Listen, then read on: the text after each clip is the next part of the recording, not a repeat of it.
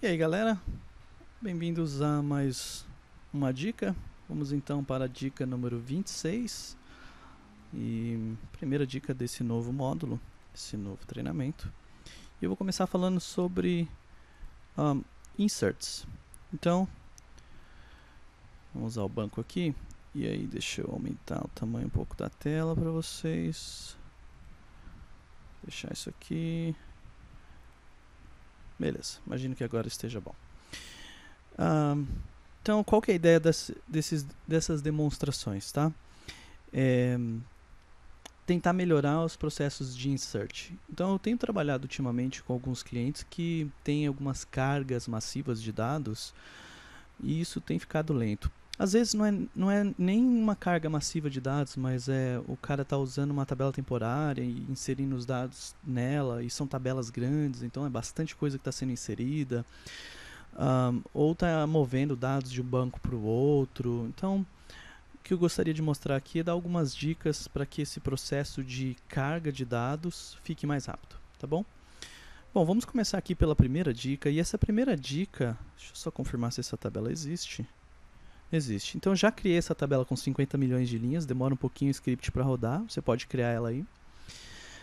Um, e aí, vamos colocar a tabela em cache, então agora a segunda leitura deve ser mais rápida, beleza?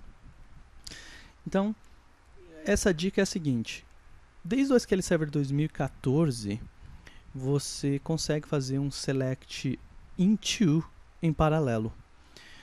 É, como assim em paralelo? Ah, isso aqui, o que eu estou querendo dizer, eu vou dar um Ctrl L aqui, ó, para você ver. Reparem que ah, essa fase de insert aqui, ó, na tabela, então estou lendo a tabela que eu criei e inserindo em uma tabela nova, e essa tabela aqui, ela também está rodando em paralelo. Tá vendo que tem essas duas bolinhas, que é essa bolinha com essas duas flechinhas?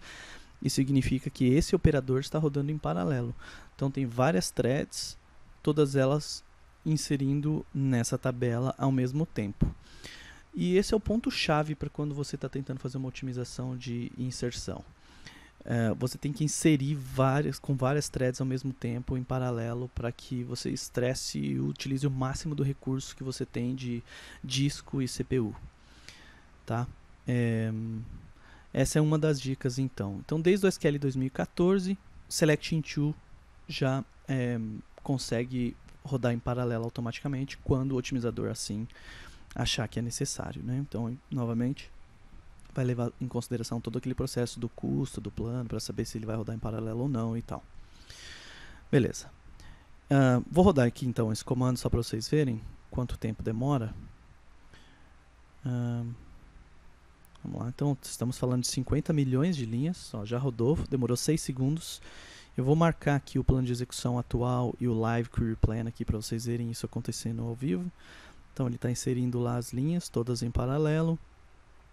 Já deve estar tá quase terminando, 70, 80, 90%, acabou, beleza. Agora aqui no plano de execução atual, eu vou clicar aqui, botão lá direito nessa seta e vir em propriedades. E reparem que aqui, ó, se eu expandir Actual Number of Rows aqui, eu tenho 12 threads.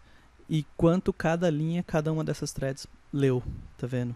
E aí mesmo esquema aqui no insert, 12 threads, e aí quanto cada uma dessas linhas aqui inseriu. Então, o que aconteceu por trás dos panos é que o SQL um, criou um plano em paralelo e aí todas as threads estão inserindo num destino ao mesmo tempo. E isso é muito mais rápido do que fazer a mesma coisa serial, ou seja, com uma thread só. Tá? Um, dica bônus aqui vocês viram que eu estou usando 12 CPUs, né? Isso é o que eu tenho disponível aqui no meu Note.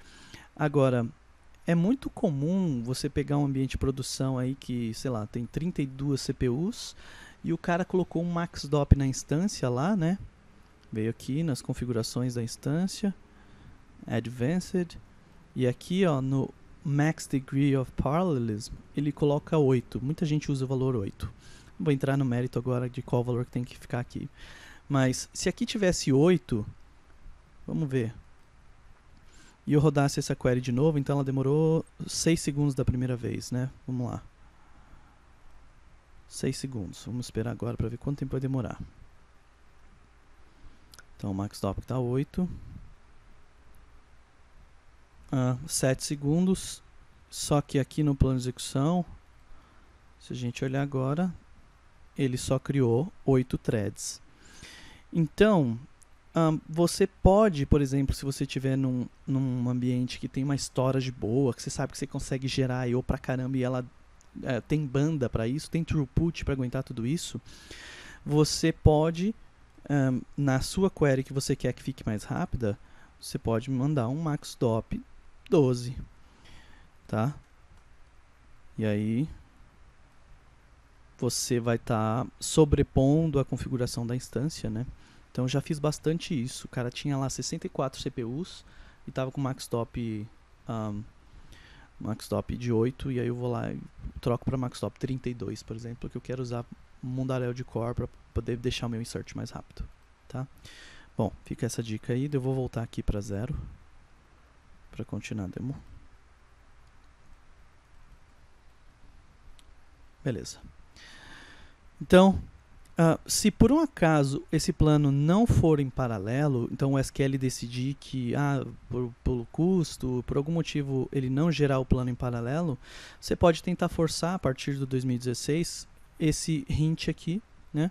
Enable Parallel Plan Preference, usando aqui o hint use hint. Ou se for antes de 2016, você pode tentar esse trace flag aqui 8649. Com nenhum dos das opções você tem garantia de que isso vai gerar em paralelo, mas é uma, uma opção, tá? É, beleza. Depois vai ter, no futuro a gente vai ter outra dica de como forçar planos em paralelo. Agora, eu quero só mostrar uma coisa importantíssima, é que no 2016, é, então, select into, ele dá um insert em paralelo, mas no 2016 Além do select into, também temos o insert select. E aí esse cenário faz muito mais sentido para abrir um pouco aí, né, a, o leque de, de clientes que podem se beneficiar disso, né? Então, um, olha só, só que tem um pré-requisito para que ele funcione, tá? Para que o insert, in, insert select rode em paralelo, a parte do insert rode em paralelo, você obrigatoriamente tem que usar o hint tab lock, né? Porque ele vai precisar segurar uh, um bloqueio na tabela para poder gerenciar as várias threads e todas elas inserindo e tal. Então, pré-requisito para que o insert rode em paralelo, você precisa do tab lock, tá? Então, se eu rodar aqui, por exemplo, o mesmo insert na tabela que já está criada, né? Então, vou dar um truncate nela. Se eu olhar o plano de execução agora, ó, a única diferença é que agora não tem mais paralelismo, tá vendo? Então isso aqui vai rodar single thread. E se eu deixar esse cara rodando aqui, ele vai rodar por 2 minutos e 7 segundos. Eu vou rodar aqui. E aí, uh, vamos ver aqui o uso de CPU, que pode ser interessante, né? Olha lá, essa CPU está lá 45, 20, então, então uso de CPU razoável, né? E aí, uh, eu vou dar um pause nesse vídeo aqui e volto já quando essa query terminar, tá bom? Beleza, estamos de volta. Então, ah, demorou um minuto, vai, um minuto e 21 para rodar a query. É uma variaçãozinha aqui de, dos testes que eu faço, mas beleza, 1 minuto e 21. E se a gente fazer a mesma coisa com o tab lock, olhando o plano de execução aqui então antes, então vai rodar em paralelo. Então vamos lá. Vamos ver. Vamos voltar para ver o uso de CPU também. Como esperado, né? CPU bate no talo, porque eu não delimitei nada. Então ele está lá usando as, os 12 cores. Porém, consegui terminar em 7 segundos, tá vendo? Então, cara, isso é muito mais rápido. Então é muito importante rodar os inserts em paralelo, tá bom?